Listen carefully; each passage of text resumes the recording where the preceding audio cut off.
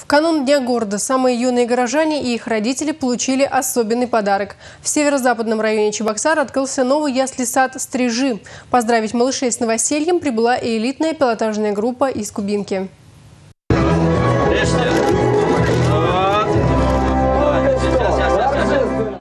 Этого события с нетерпением ждали все жители микрорайона Волжский-3. Новый, удобный и современный ясли-сад распахнет свои двери в новом учебном году. Назвали этот садик в честь пилотажной группы «Стрижи». А это значит, что юные чебоксарцы с раннего возраста будут знать, что первым делом – самолеты.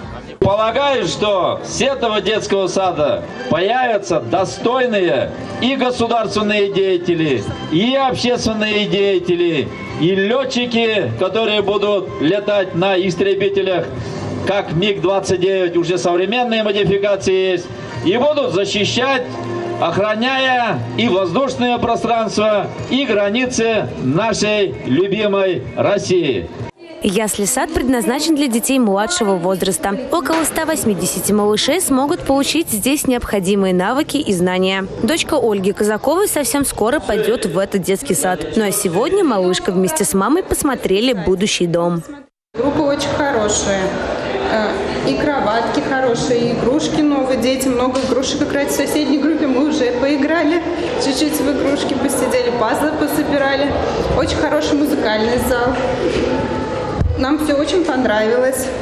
Детский сад построили в короткие сроки. На строительство дошкольного учреждения потребовалось чуть более 7 месяцев. В яслях есть все необходимое для развития малышей. Это и музыкальные, и спортивные залы, кабинеты логопеда и психолога. Все соответствует принятым стандартам.